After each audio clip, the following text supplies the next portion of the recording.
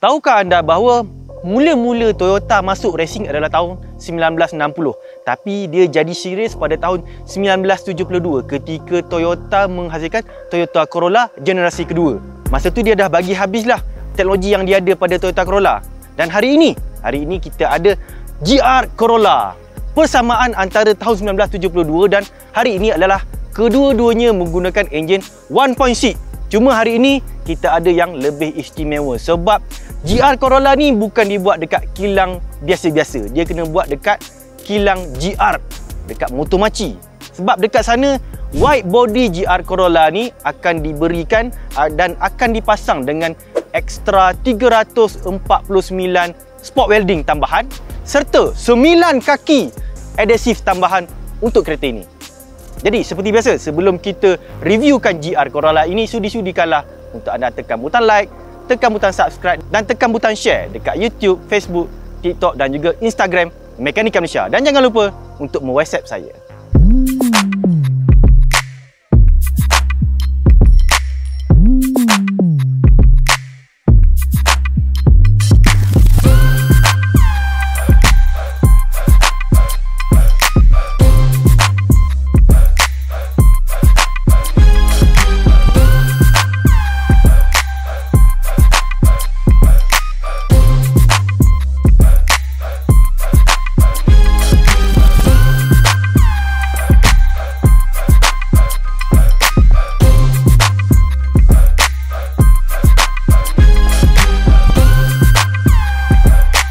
Untuk bahagian depan ini, GR Corolla diberikan front matrix grill. Satu rekaan khusus untuk GR Corolla. Dan kita boleh tengok, dia punya lower grill sebenarnya dimaksimumkan untuk ambilan angin yang maksimum. Untuk cooling lah sebenarnya.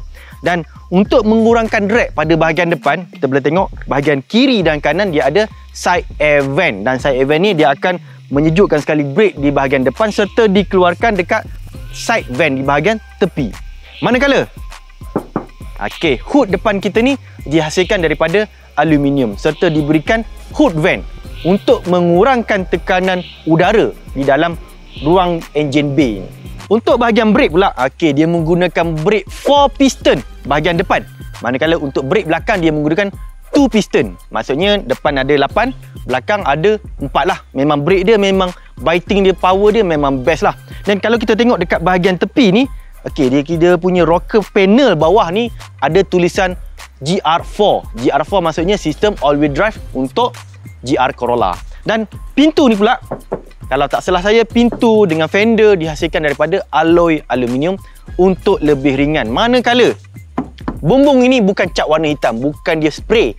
Memang dia dihasilkan daripada komposit untuk lebih ringan dan merendahkan center of gravity untuk GR Corolla ini.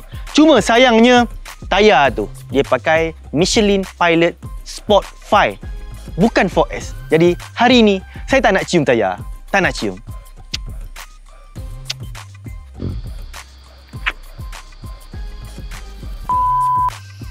Untuk di bahagian belakang pula, okey, bahagian belakang ni ada satu perkara menarik yang kita jumpa. Saya rasa, saya rasa tailgate GR Corolla ni dihasilkan daripada komposit bukannya alloy aluminium. Sebenarnya untuk lebih ringan. Dan ciri ini adalah sama dengan geng Ativa Hybrid. Dia menggunakan pintu yang dihasilkan secara termoplastik. Termoplastik. Ha, sama. Lepas ni bolehlah geng Ativa Hybrid jalan berkepak macam ni. Sama mana dengan GR Corolla. Eh then, bahagian bawah tu dia ada triple exhaust. Type B, Type C. Salah. Tiga exhaust memang direka sebegini untuk mengurangkan back pressure, untuk melancarkan pergerakan exhaust tu keluar daripada enjin, untuk memberikan efisiensi yang lebih baik. Jadi dia dapat power yang lebih tinggi lah. Dan bateri untuk kereta ini berada dalam ruang kargo di bahagian belakang. Jom kita tengok. Okey, untuk bahagian belakang ataupun ruang kargo bonet yang saya sebut tadi, bateri kereta ni berada di bahagian belakang. Ha, supaya berat kereta ni tak terlalu berat di bahagian depan. Bahagian belakang pun ada berat dia juga. Sayangnya kaedah ini menyebabkan ruang kargo di bahagian belakang tu jadi kecil. Sekitar 213 liter sahaja. Kecil sikit lah Tapi kita boleh lipat kedua-dua seat tu kita dapat sekitar 1020 liter. Boleh tahan besar juga ruang kargo untuk kereta ini.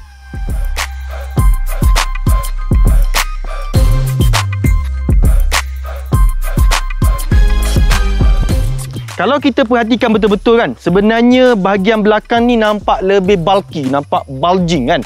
Sebenarnya kereta ni untuk track width dia lebih lebar berbanding dengan Corolla biasa. Sebab sebab apa? Sebab engineer perlu memanjangkan dia punya double wishbone tadi lebih panjang keluar untuk stability masa high speed corner. Jadi tayar tu kalau kita pasang dia ada dia lebih kurang terkangkang keluar macam ni ha.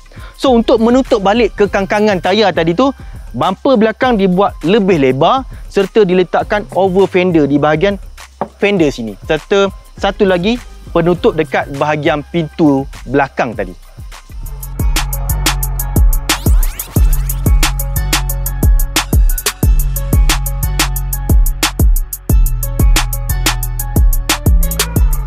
Enjin yang dipasang pada GR Corolla ni namanya enjin G16E GTS enjin 3 silinder 1600cc yang menghasilkan sekitar 300 horsepower dan 370 Nm torque. Memang power enjin ni.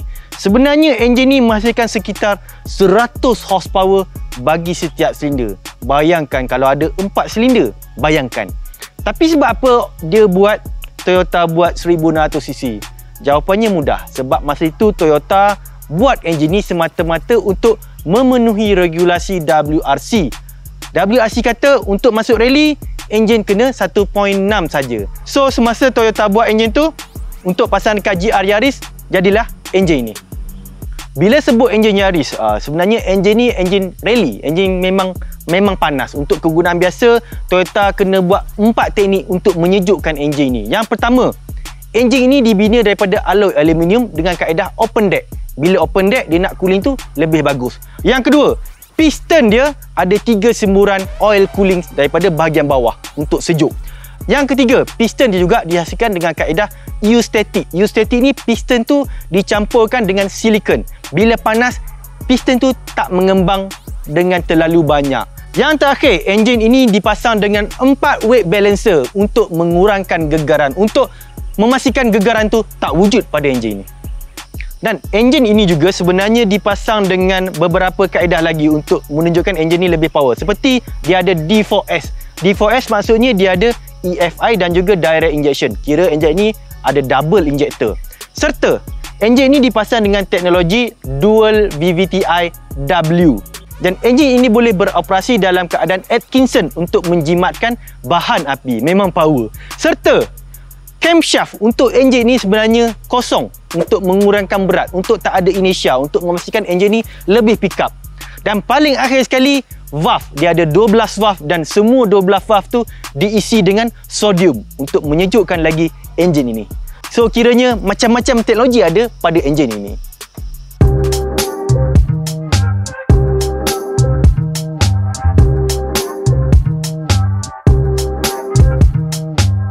Realman use 3 pedal. Untuk GR Corolla, hanya gear manual sahaja ditawarkan dengan gear 1, 2, 3 dan 4 serta 5 uh, angka dia daripada 3 menurun sampai nombor 1. Untuk uh, gear 5, dia punya nisbah adalah 1 nisbah 1. Manakala untuk gear 6, nisbah dia kurang daripada 1. Jadi, kepada anda yang tak pandai bawa gear manual, tak ada masalah sebab dia ada fungsi IMMT.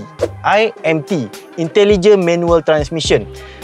IMT ni dia akan menawarkan fungsi auto blip kepada anda. Dia menjadikan penukaran gear berlaku dengan lebih lancar dan dia memastikan kereta ini tidak mati ketika anda cuba parking kereta ni depan kedai mama. Kalau mati, malu.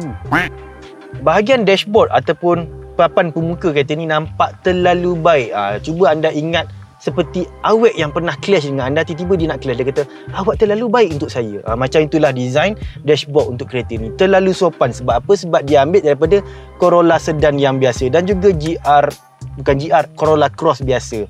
Nampak terlalu baik untuk saya kecuali bahagian seat ini seat ini dia ambil uh, semi bucket seat daripada GR Yaris nampak lebih cun lah sebab lengkap dengan ada GR punya logo, ada jahitan benang, ada GR punya logo dekat gear knob serta ada jahitan benang dekat bahagian center console serta bahagian steering. Tapi untuk ciri-ciri lain, kereta ni tetap sebuah kereta sport yang moden. Dia ada 9 inci punya skrin lengkap dengan Apple CarPlay, Android Auto tanpa wire, ada meter digital berbanding dengan meter GR Yaris yang menggunakan analog. Ha, meter digital ni lebih kurang 9 inci. Ada aircon automatic, ada SUD dan juga ada adaptive cruise control. So sebelum komen, ada beza. Passive cruise control dengan adaptive cruise control. Beza kan je? Okey, kalau kita duduk di bahagian belakang ni sebenarnya kita rasa tak berapa luas sebab wheelbase kereta ni telah dipendekkan sebanyak 60mm berbanding dengan varian sedan. Sebab apa dia pendek? Sebab dia kena make sure design luar kereta ni cantik. Kalau panjang juga mungkin design tu nampak pelik sikit. Tapi untuk bahagian belakang dia masih boleh duduk tiga orang. Ha, dia ada tiga seat belt, ada armrest dan juga ada USB point. Ha, setakat itulah sahaja dia punya amenities.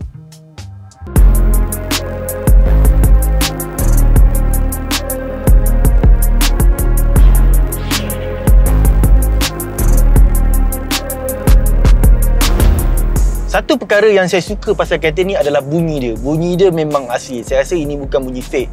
Jadi kalau kita tekan minyak, ah, ah bunyi dia memang kejam dan brutal.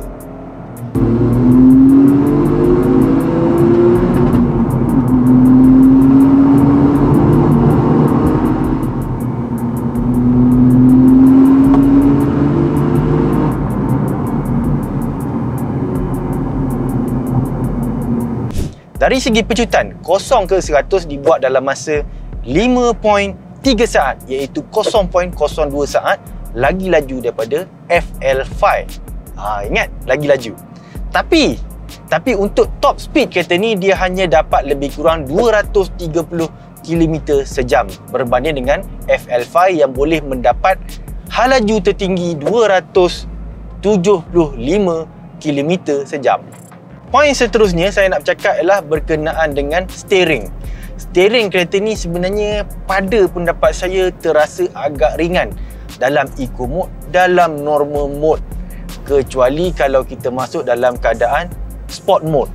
Tapi tak adalah hari-hari kita nak bawa kereta ni dalam keadaan sport mode. Ha, itu dia. Dan satu lagi komen berkenaan dengan steering ni adalah diameter steering ni kecil sangat. Macam macam steering beza. Itulah yang tak berapa best sebenarnya. Untuk gear kereta ni, hmm, gear kereta ni boleh dipuji ya. Dari segi shift quality tu tetap ada. Cuma kalau kita nak bandingkan dengan FL5, saya rasa FL5 tu mungkin markah dia lebih tinggi sedikit sebab FL5 FL5 Honda dah buat berapa banyak kereta, dah berapa banyak revolusi, evolusi yang dihasilkan oleh Honda. Jadi dari segi shift quality, dari segi rasa gated, rasa mechanical, Honda akan menang sedikit berbanding dengan Toyota. Dan satu benda yang saya nak komen, kedudukan gear 3 dengan gear 5 tu gated dia tu agak rasa agak nipis. Kadang-kadang dalam keadaan pemanduan yang agak agresif, kita boleh tertukar gear 3 dan juga gear 5. Seperti yang kita cerita tadi, kereta ini diberikan satu ciri IMMT, sorry, IMT, Intelligent Manual Transmission. Ciri ini akan memberikan auto blip kepada anda ketika menukar gear. Let's say ah, kita daripada gear 4, daripada nak gear 3 kita dah tekan laju-laju, nak masuk gear 3 balik. Dan kita lepas minyak, ha, dia akan rev sikit. Ha, itulah IMT. Dan bagusnya, kalau kita terlupa ataupun gagal menukar kelas dengan tepat, auto bleed tadi akan membetulkan balik keadaan dia tak bagi enjin kereta ini mati. Untuk clutch pula clutch dia sebenarnya ambil masa untuk biasakan diri. Sebab kadang-kadang clutch tu rasa agak tinggi jadi saya kena mengubah kedudukan saya ni ke depan sedikit. Jadi kalau kita tengok dari luar kedudukan saya dalam kereta ni macam agak kelakar sikit. Tapi lama-lama kita dah boleh biasakan dengan clutch kereta ni. Dari segi seat dia pula, seat ataupun cushion kereta ni sebenarnya lebih selesa berbanding dengan FL5. Satu benda yang kita boleh puji adalah dia punya padding tu. Dia punya padding tu lebih tebal, lebih sedap. Manakala dia punya bucket tu tak terlalu dalam. Dan seat dia ni sebenarnya dihasilkan daripada gabungan material kulit dan juga suede. Jadi dia lebih melekat. Ha, sama macam FF5, cuma dia lebih selesa untuk perjalanan jarak jauh. Serta dia tak menyebabkan kita rasa lenguh pada bahagian siku dan juga bahu. Ya, macam yang saya cerita tadi, kereta ni ada sistem all-wheel drive GR4. Kita boleh pilih nak memandu dalam keadaan normal 30, 70, itu sport, sorry. Ataupun normal 60, 40 ataupun track 50, 50. Dan saya lagi suka dalam keadaan 30, 70. Rasa lebih sporty. Ha, kita boleh pilih ikut mode pemanduan kita kita nak drive macam mana itulah kelebihan kereta ini ha, kalau kita macam dalam keadaan ambil seleko macam ni 30-70 the best. Bila bercakap berkenaan dengan all-wheel drive, kelebihan kereta ini adalah cornering speed dia dengan dia punya yaw rate ataupun kebolehan dia untuk mengubah hala tuju kereta semasa dekat selekoh. All-wheel drive memang membantu kereta ini mendapatkan speed cornering speed yang lebih baik, lebih laju berbanding dengan dengan front wheel drive. Sebab apa? Sebab masa corner empat-empat tayar mencengkam dan masa kita keluar selekoh kita tak perlu risau berkenaan dengan understeer. Jadi kalau kita compare dengan FL5, FL5 itu semasa keluar pada selekoh kita kena berhati-hati sikit. Kalau kita lebih tekan, kita akan understeer. Tidak dengan kereta ni, dekat selekoh kita nak tekan lagi. Kita nak tekan minyak minyak lagi sebab kita rasa yakin dengan keupayaan kereta ini. Cuma sayangnya kereta ni hanya diberikan satu setting suspension saja. Lebih kurang rasa sport ha, macam tu. Tak ada keras, tak ada lembut. Satu saja. Jadi kalau haru-haru, haru-haru. kalau hari-hari bawa kereta ni nak pergi kedai hantar anak sekolah lalu bam memang kurang selesa sikit berbanding dengan kereta biasa. Dari segi safety, kereta ni boleh dipuji sebab dia ada macam-macam safety. Ada AEB, ada lane departure watch, lane keep assist, lane train assist dan macam-macam lagi. Cuma sayangnya dia tak ada blind spot dan juga rear cross traffic alert. Ha, sama macam FL5. Serta satu benda yang boleh dipuji pada kereta ni adalah dia punya adaptive cruise control. Adaptive cruise control kereta ni kita boleh tekan clutch untuk tukar gear tanpa menyebabkan ACC tu dia di cancel secara automatik. Itulah kelebihan ACC pada kereta ini.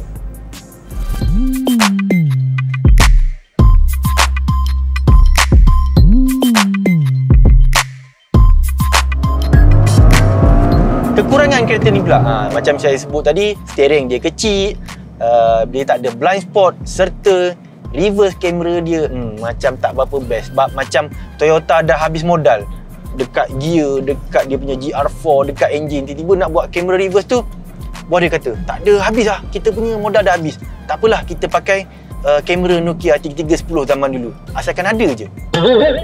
Berapa harga kereta ni? Harga kereta ni dijual sekitar RM355,000 dengan 5 tahun jaminan. Dan terima kasih kepada Akio Toyota kerana membawa semula kereta-kereta sport. Dia bawa balik GR86, dia bawa balik Supra, dia bawa balik Yaris serta Corolla. Terima kasih Akio Toyota dan hari ini kita boleh rasa kereta sport manual buatan Toyota yang boleh dipercayai. Jom kita rasa kehebatan kereta ni. Jangan lupa subscribe, like dan share. Okay? Dan jumpa lagi dekat Telegram.